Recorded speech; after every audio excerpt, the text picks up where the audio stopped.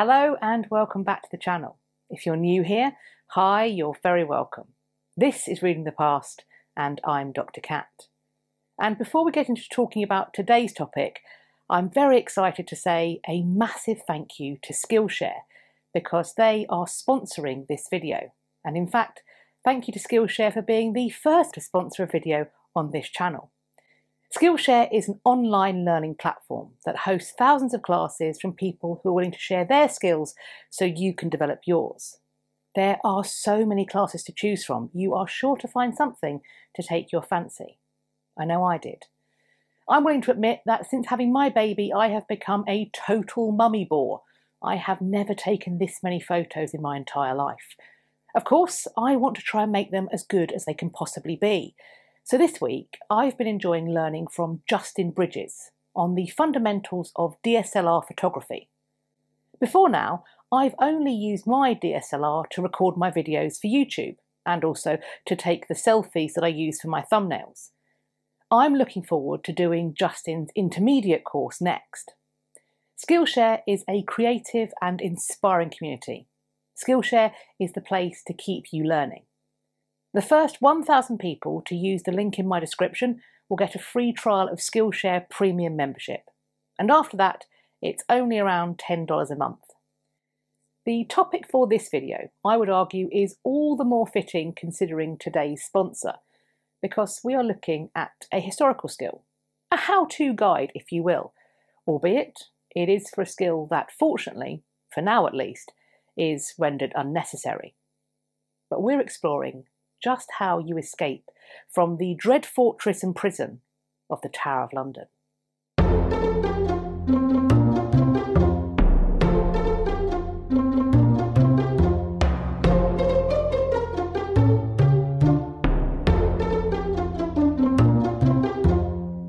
John Gerard was born on the 4th of October 1564, which was almost six years to the day after the accession of Elizabeth I to the throne. He was born into a prominent and wealthy Northern Catholic family. John was his parents' second son. As such, according to the customs surrounding inheritance, it would be his elder brother who would be the one to inherit the family estates. John would follow an ancient custom, which saw many second sons who came from prominent families make their way in the world through entering the priesthood. Oral tradition holds that Elizabeth I had asserted that in matters of religion she, quote, would not open windows into men's souls. Understandably, Elizabeth was keen to move away from the divisive and violent religious settlements of her siblings and her father. In 1559, Elizabeth's religious settlement was established. The Act of Supremacy made her supreme governor of the Church of England. Her father and brother had been head, but Perhaps her uterus got in the way. Alternatively, some have read it as an attempt to appease Roman Catholics, for whom, of course, the Pope was the head of the church. Maybe they were willing to accept Elizabeth as governor, if not head. In the same year, 1559, the Act of Uniformity came into force. For many, it represented a so called middle way. There would be a uniform English prayer book, Church attendance would be a requirement on the Sabbath and other holy days, with recusancy resulting in a fine.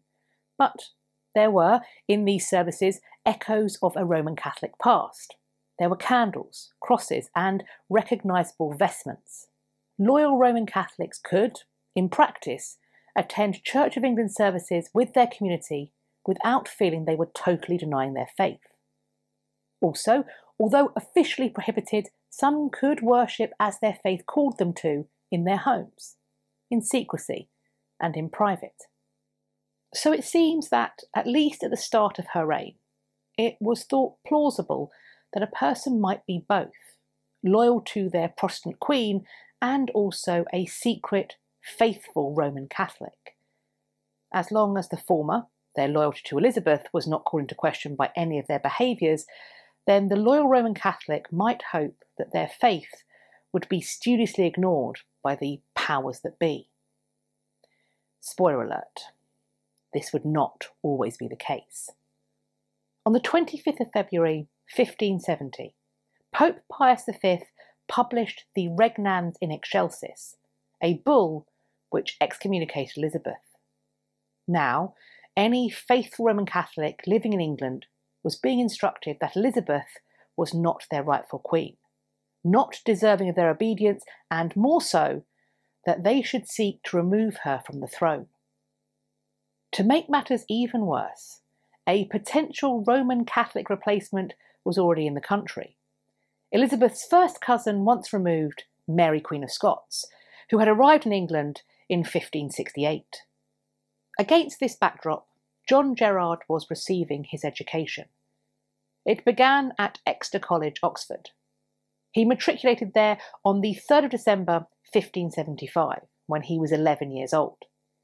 However, the following year, around Easter time, it seems that his refusal to attend church services, presumably Church of England services, resulted in him leaving the university and returning to his home. His education, however, was not over, because a couple of months before his 13th birthday, in August 1577, he was on the continent, seeking to continue his education in a Roman Catholic setting. He would follow the English College, which was a Catholic seminary, to Rheims. He would transfer to the Jesuit Collège de Clermont in Paris in 1580. But apparently, a bout of ill health caused Gerard to have to leave after about a year there. But by late 1581, he was making moves to join the Society of Jesus, to become a Jesuit himself. Records show that Gerard was back in England by early 1583, because at this point he was captured and placed in the custody of a family member, thought by many to be his mother's brother, George Hastings. Unfortunately, Gerard seems to have proved obstinate in his refusal to conform to the religious requirements of Elizabethan England. Eventually, family custody would not seem to be enough. He would ultimately be transferred to the Marshalsea prison on the 5th of March 1584. Gerard would be bailed out, to use a contemporary term. The old term would be given surety by some supporters. One of these supporters was Anthony Babington, whose name I'm sure rings bells for many of you, because in the near future, after this event, he will be caught plotting with Mary Queen of Scots. For this crime and his part in it, he will lose everything including his head. Gerard's supporters may all have approved the next move to be taken by their man, even though it ensured they lost their money. Because Gerard absconds. He leaves for France in 1586. John Gerard returned to continue his education at the English College on the continent. He would be ordained on the 17th of July 1588 using a papal dispensation, because he had not yet reached the required canonical age to be ordained. Of course, 1588 is significant for another reason.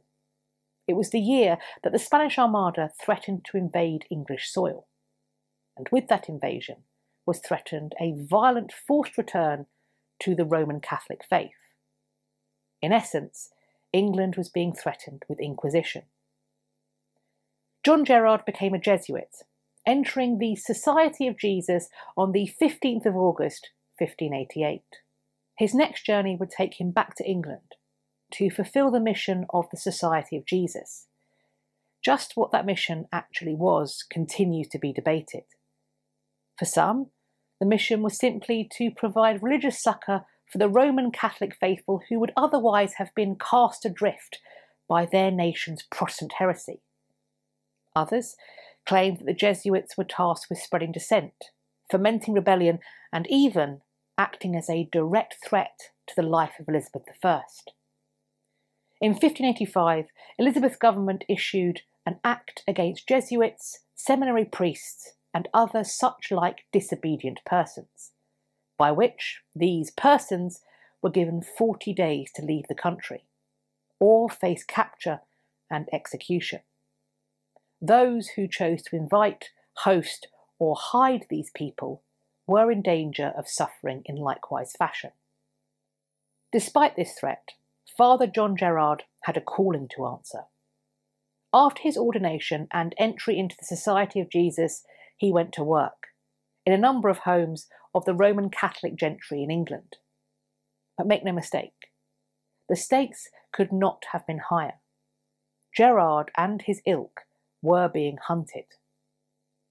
Catholic homes across the country had contained priest holes for a number of years. Construction had begun, we think, in as early as 1550. However, I imagine that they felt somewhat different after the 1570 excommunication, and even more so after that 1585 Act. Nevertheless, Father Gerard would remain at large for a few years, able to fulfil his mission and perform his ministry. He was eventually captured in London on the 23rd of April 1594. At first, he was held in a prison called the Counter. From there, he was moved to the Clink, where he continued to perform his calling as a Roman Catholic priest. In 1597, he was moved to the Tower of London, specifically to a cell in the Salt Tower.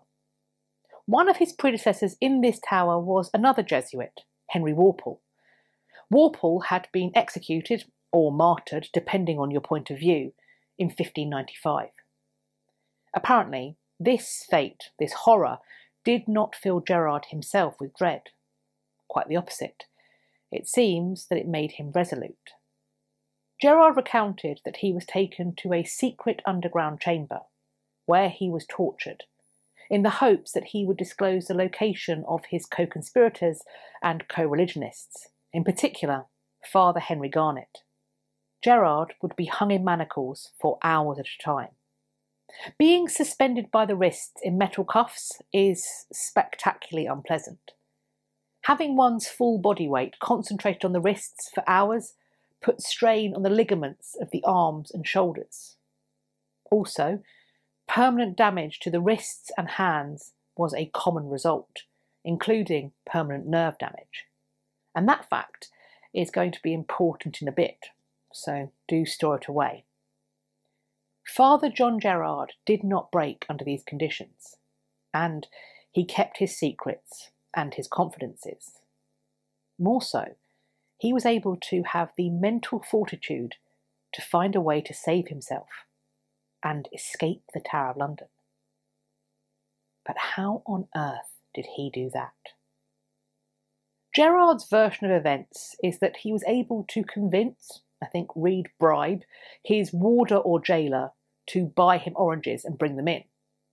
Gerard said he claimed that he was going to use these oranges to assist him in exercising his tortured hands, a kind of early modern physiotherapy for the condemned, if you will. Gerard said that he used a knife to cut the peel of the oranges into crosses so that he could place those crosses onto a silk thread and make rosaries. He asked for paper to wrap his rosaries so that he could send them as gifts to his fellow prisoners. Additionally, he requested a feather quill be brought to him so he could pick and clean his teeth. So, Gerard had managed to amass oranges, paper, and a quill feather. Wonderful. How on earth do these unusual items manage to get you out of the dread fortress of the Tower of London? Well, it turns out that you sharpen the quill feather to make a writing implement. You also take the time to store up orange juice, with which you write on your paper. Once dry, this orange juice is invisible ink. It will only become visible again when it's held over a flame and heated up.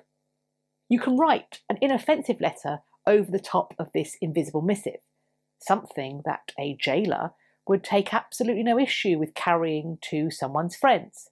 Of course, another fee would be involved. In this way, apparently, John Gerard was able to plan his escape with his friends. Now, the Salt Tower is on the inner wall of the fortress. Opposite, on the outer wall, was the Cradle Tower.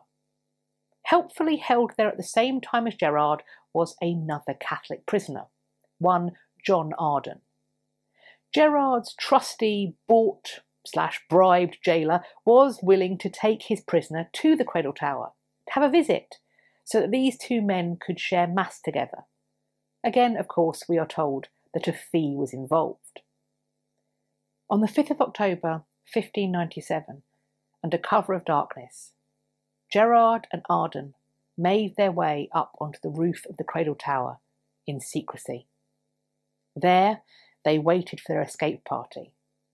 That party arrived with a small boat, and they would then go on to follow the plans that were sketched out in the orange juice letters. Gerard and Arden would let down a cord, to which a rope could be tied and then drawn up, and so it was.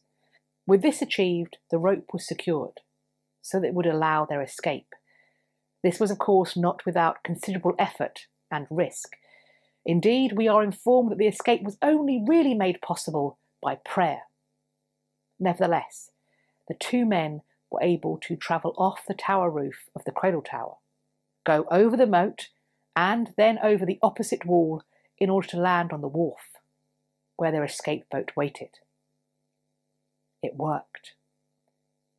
Father John Gerard remained in England, ministering in hiding to his Roman Catholic flock until the 3rd of May 1606, at which point he was recalled to the continent to help train other Jesuits.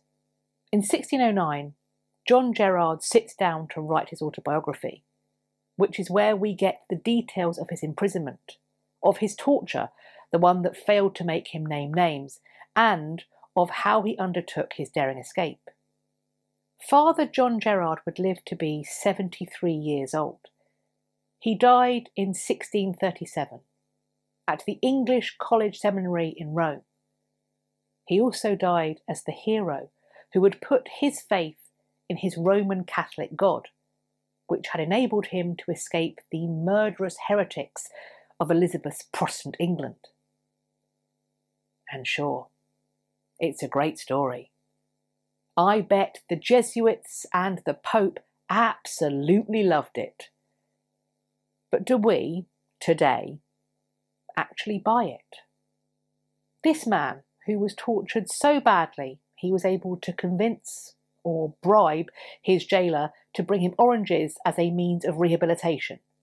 This is a man who we are being asked to believe was able to hand over fist it along metres of rope on his hands alone in the darkness.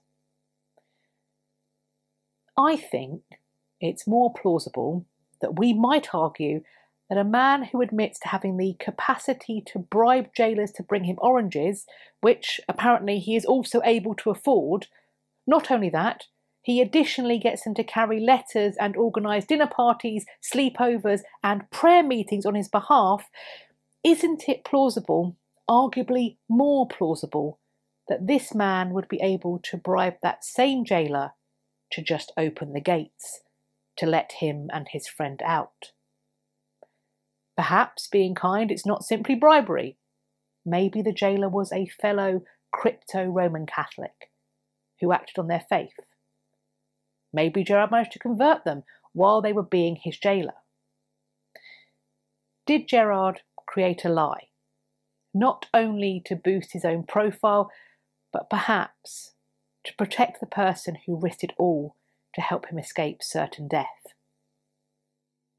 But what do you think? As always, I'm looking forward to reading your conversations in the comments section underneath this video. Or you can find me over on my social media. I'll leave links to my Instagram and Twitter in the description box. Follow me there and we can continue this conversation. I do hope you've enjoyed this video and found it useful. If you did, then why not share it with your friends? Also, let me know by hitting the thumbs up and why not subscribe to this channel? And while you're there, also hit the little notification bell beside the subscribe button so that YouTube tells you when I've next uploaded. I hope you're going to have a great day, whatever you're doing. And I look forward to speaking to you all in my next video. Take care of yourselves. Bye bye for now.